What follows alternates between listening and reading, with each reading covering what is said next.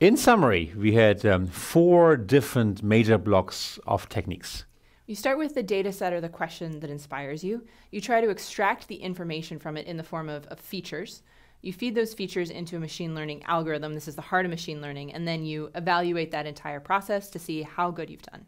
One of the hardest things is actually coming with the data set or the question that interests you. So one example that I loved was the Enron data set. For you, this will be something different. We spend a lot of time in class on features, how to present features, how to get rid of features, and how to find new feature spaces that actually work better. And you can apply these techniques to pretty much any data set to get really reasonable feature sets.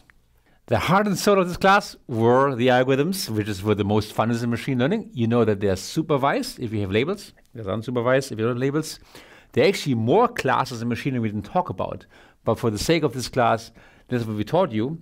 And really important is each algorithm needs to be tuned. And we talked about quite a bit how to tune your algorithms. Last but not least will be the evaluation. How well are you doing? There's different types of evaluation metrics that you can use, depends on depending on what's most important to you.